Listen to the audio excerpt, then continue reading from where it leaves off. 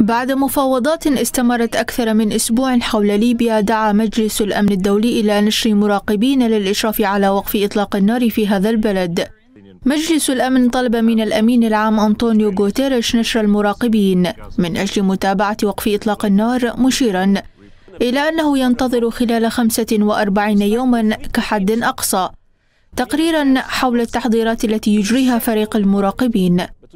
ومن المرتقب أن يتسلم مجلس الأمن خلال المدة المحددة التقرير وكذلك اقتراحات فريق المراقبين العملية لتعديل تفويض بعثة الأمم المتحدة للدعم في ليبيا. في إطار مهمة يتوقع أن يكبر حجمها بشكل تدريجي وتتوسع جغرافيا.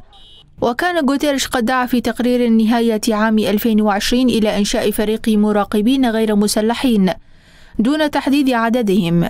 يكون مؤلفا من مدنيين وعسكريين متقاعدين متحدرين من دول أعضاء في الاتحاد الأفريقي والاتحاد الأوروبي والجامعة العربية. وذلك بالتوافق مع الأطراف الليبية. وفي تقريره تحدث الأمين العام للأمم المتحدة عن أسس آلية قابلة للتطوير لمراقبة وقف إطلاق النار من جانب الأمم المتحدة المتمركزة في سيرت. على أن تمتد عملية المراقبة بعد ذلك لتشمل كل أراضي البلاد. من جانبهم أوضح دبلوماسيون أن طليعة فريق المراقبين ينبغي أن تتضمن حوالي ثلاثين شخصاً.